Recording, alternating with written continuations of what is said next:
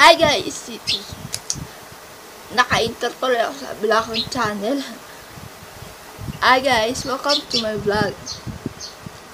So, ano ba gagawin natin ngayon guys is behind the scenes. Ano namin behind the scenes? Lalo na pag ako eh, nag um,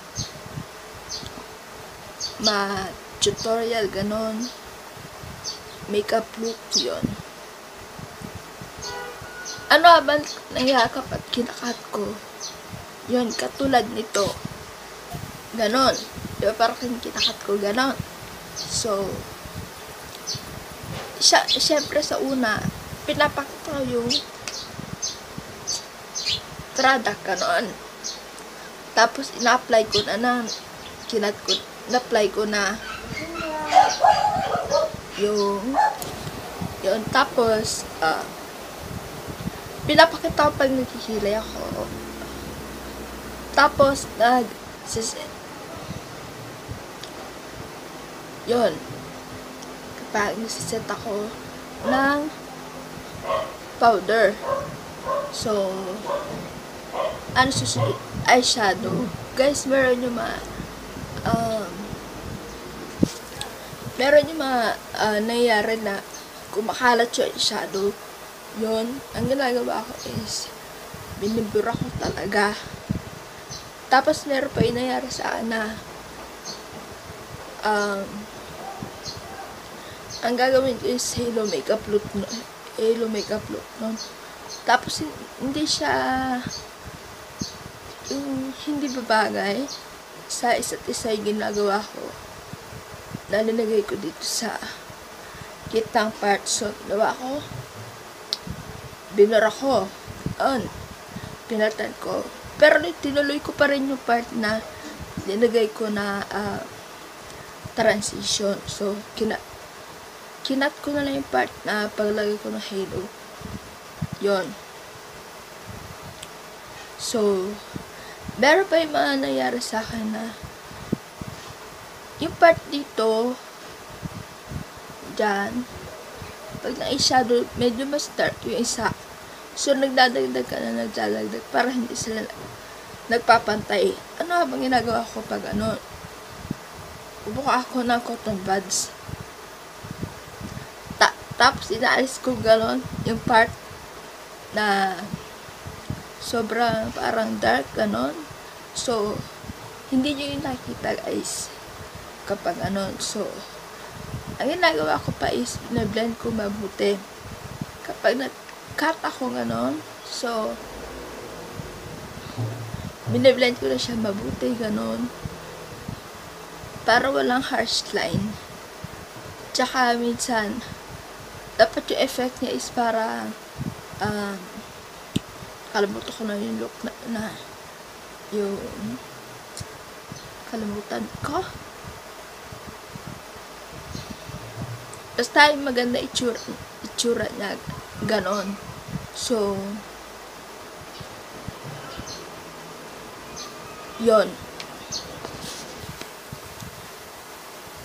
yun yung mga part na hindi ko pinapakita sa inyo guys. Kapag uh, nag-makeup look ako o makeup tutorial kapag uh, sa pa kapag may di pag eyeshadow tayo lumalabas dito yun naalis ko. Yun. Na cotton pads ganon so yun. Tapos meron din yung pag uh, meron akong blush on na ginagamit. Yung blush on ko madalas gamit ngayon maganda yun. So madali siyang pang-apply. Yun. So ano gano'n ka lang eyes na. Kasi sa ibang blush on na na-try ko is parang mahirap siyang ipa para i-apply ko pero siya i-apply so kung ano yung nagustuhan ko yung madalas kong ginagamit yun guys. Yan. Yun yung sakat takat ko na part tapos inaanda ko kung ano yung aking brushes na gagamitin ganon. So ano na gagamitin ko? So lahat sila Etong part kasi na ito guys, nakaupo lang ako dito.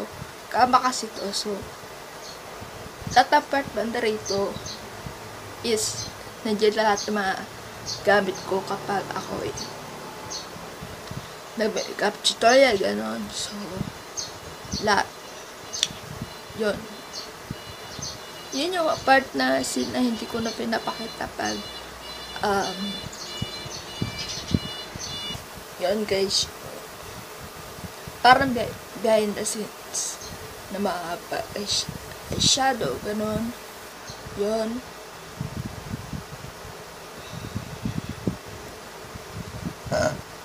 Kaya ako.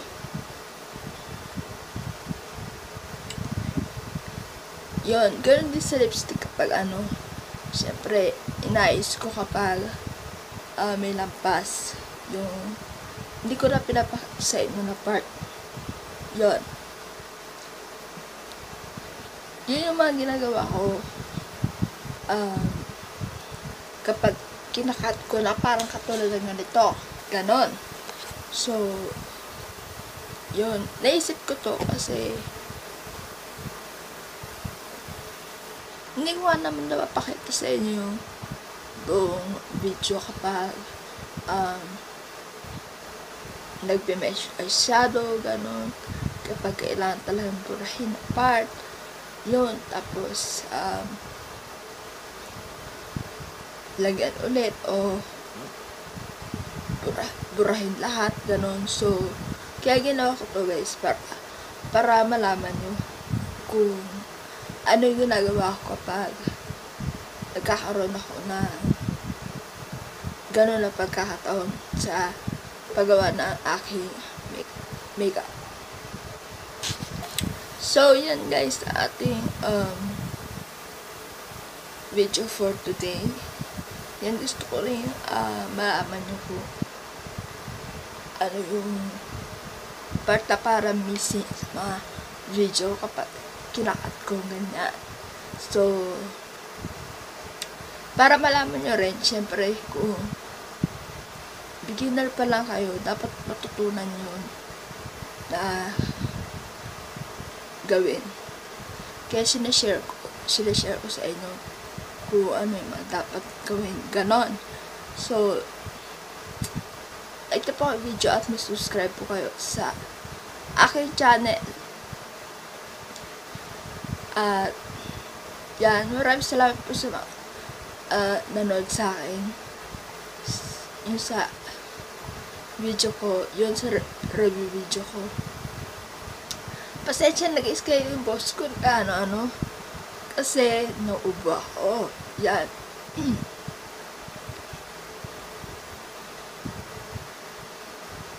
Tapos kanina, bila ko, bila ko naubo. Yung chan ko bigla nag-cramps. Sakit. Masakit pa ganon. Yadaan na rin boss ko.